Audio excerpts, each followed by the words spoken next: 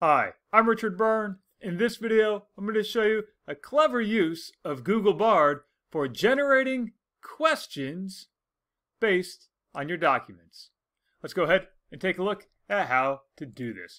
Let's say I've got a long document like the Federalist Papers number 10, and I'm planning to have my students read it, and I want them to answer some questions about it. So I'm going to copy the URL to this document. And I'm going to go over to Google Bard and I'm going to put in a prompt that says something like, can you generate some questions based on this article?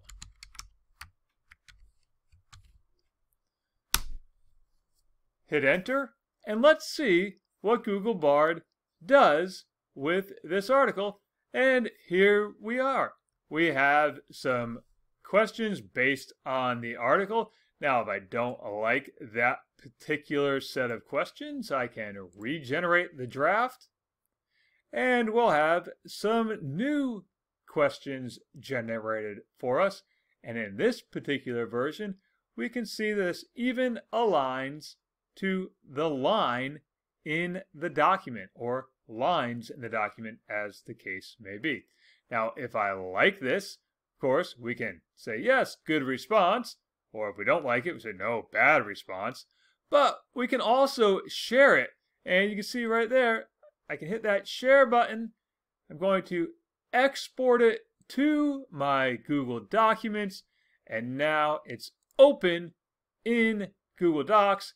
And I might go ahead and now add that link to the top of the article. There we go. I'll paste that right in. And now we have some questions to answer about the article. And of course, I could then share this in my Google Classroom or wherever else I might share a set of reading questions with my students. So, that's a handy use of Google Bard for generating questions based on documents you're going to have your students read. As always, for more things like this, including more Google Bard tutorials, please subscribe to my YouTube channel.